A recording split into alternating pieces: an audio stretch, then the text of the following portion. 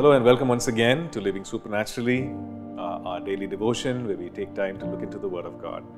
And uh, today we are considering this whole aspect of walking, which is to uh, our life itself, how we conduct ourselves, and uh, what the Scripture exhorts us as to how we should walk, which means how we should live, how we should regulate our lives.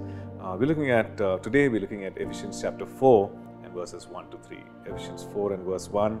I therefore, the prisoner of the Lord, beseech you to walk worthy of the calling with which you were called, with all loneliness and gentleness, with long suffering, bearing with one another in love, endeavoring to keep the unity of the Spirit in the bond of peace.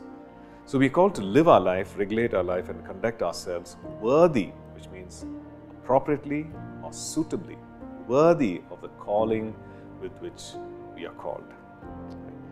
In 2 Corinthians chapter 5 and verse 20, um, this is what uh, uh, it says Now then, we are ambassadors for Christ. One of the many things that we can consider what is our call and what we are called to do. Uh, we are ambassadors for Christ, an ambassador meaning a representative and a spokesperson. We are ambassadors for Christ, as though God were pleading through us.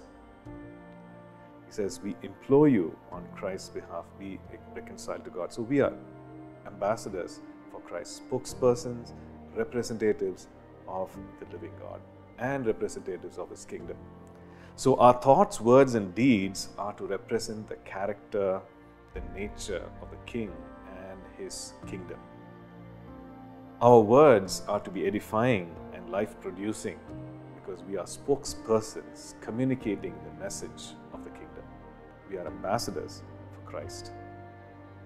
Psalm 1 and verse 1 says, Blessed is the man who walks not in the counsel of the ungodly, who walks not in the counsel of the ungodly, which means he walks in the counsel of the godly. And it ends, uh, verse 2 uh, says that his delight is in the law of the Lord.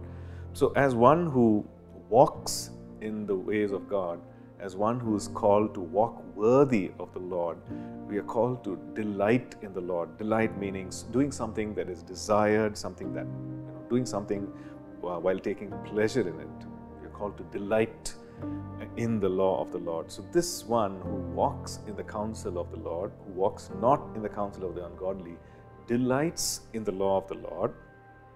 And it says in verse 2, Psalm 1, that in his law he meditates day and night. He meditates on the word of God, meaning he ponders, thinks deeply, esteems, and mutters to himself the truth of what he's reading. He's meditating on the word of the Lord. So we are called to walk worthy of the Lord as ambassadors, as representatives, as people called to be spokespersons, communicating the message of the kingdom. So this is our privilege, and this is something that we would need to regard and consider as we are invited. So let's pray and commit ourselves. Father God, we thank you that you called us to be ambassadors for Christ. Thank you that you called us to be spokespersons Lord, for your kingdom and to represent you, O God. And Lord, we pray that we would walk worthy of this great calling each and every day. We give you all the praise and glory. In Jesus' name we pray. Amen. Thank you for tuning in to Living Supernaturally. For more resources to strengthen your spiritual walk, please visit apcwo.org.